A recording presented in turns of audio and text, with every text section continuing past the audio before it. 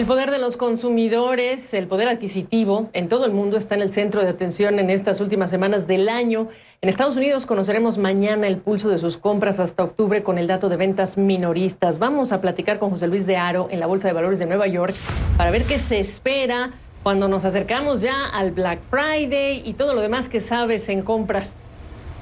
Pues eh, de momento, Gaby, parece que esas ventas minoristas del mes de octubre deberían ser buenas, al menos así lo piensa el consenso del mercado, que está hablando de un aumento del 1,5% y del 0,5% si excluimos la venta de coches. En un eh, momento, como bien comentabas, en la que estamos ya casi a una semana de ese Black Friday, el comienzo de la temporada de compras navideñas y que en estos momentos las estimaciones eh, que que realiza la Federación Nacional de Minoristas acá en Estados Unidos habla de una cifra récord de crecimiento en ventas de entre un 8,5 y un 10,5%, algo que debería demostrar eh, cómo los estadounidenses siguen teniendo ganas de consumir y de gastar esos ahorros acumulados durante la pandemia, pero la pregunta es eh, qué tipo de presión pueden realizar en estos momentos los, la, la inflación que estamos eh, viendo sobre los precios en un momento en el que, aunque han aumentado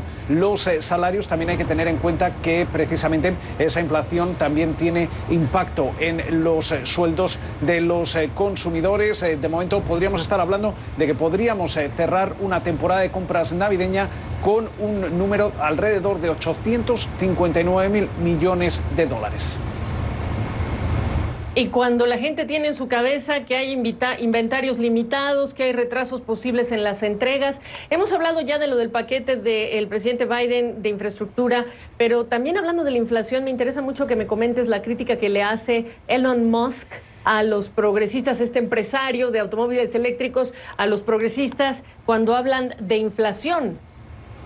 Completamente, Gaby, Elon Musk volvía a tirar de Twitter durante el fin de semana y precisamente hablaba de cómo la inflación es un impuesto y es el peor impuesto regresivo que puede ocurrir a la economía. Además, hacía mención, como bien eh, mencionabas, a los eh, progresistas en este sentido, en un momento en el que ya conocíamos la semana pasada como esa inflación acá en Estados Unidos ha tocado máximos de los últimos 30 eh, años y que además tiene efectos, tiene efectos sobre el poder adquisitivo de los consumidores y también, como comentábamos anteriormente, en los sueldos, aunque hemos visto un repunte importante de los salarios en Estados Unidos en el último año, es cierto que esa subida o los sueldos reales eh, que incluyen el efecto de la inflación podrían ser incluso negativos en algunos sectores si dejamos de lado los servicios, que es el que de momento parece que se salva. Con lo cual, esta es una nueva crítica más eh, de Elon Musk, que también criticaba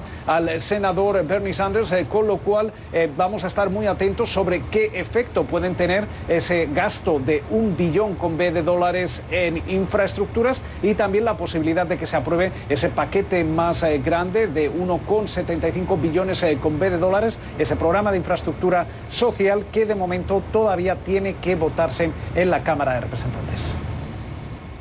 Exactamente, viene el último tramo de las sesiones legislativas y hay muchos temas. Gracias, José Luis. José Luis Diaro desde la Bolsa de Valores de Nueva York. Regreso.